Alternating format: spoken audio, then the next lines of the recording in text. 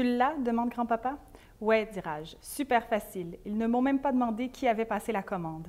Le type m'a juste fait signe que je pouvais y aller. Grand-papa ordonne au taxi de nous déposer devant un restaurant chinois pour fêter ça. Prenez tout ce que vous voulez, dit-il. Je prendrai un mugu peipan. On s'en doutait un peu. Raj pointe quelque chose sur le menu. Ils servent de la méduse. On devrait en commander, c'est le jour ou jamais. Je lui souris. Nos plats arrivent. Raj goûte sa méduse. C'est comment? dis-je. Il mastique longuement et il mastique encore. C'est comme mâcher des élastiques. Je ne peux pas m'en empêcher. La méduse, parfait pour organiser vos choses. Il comprend tout de suite. La méduse, vous pouvez aussi vous en servir comme gomme à effacer et la faire rebondir comme une super balle.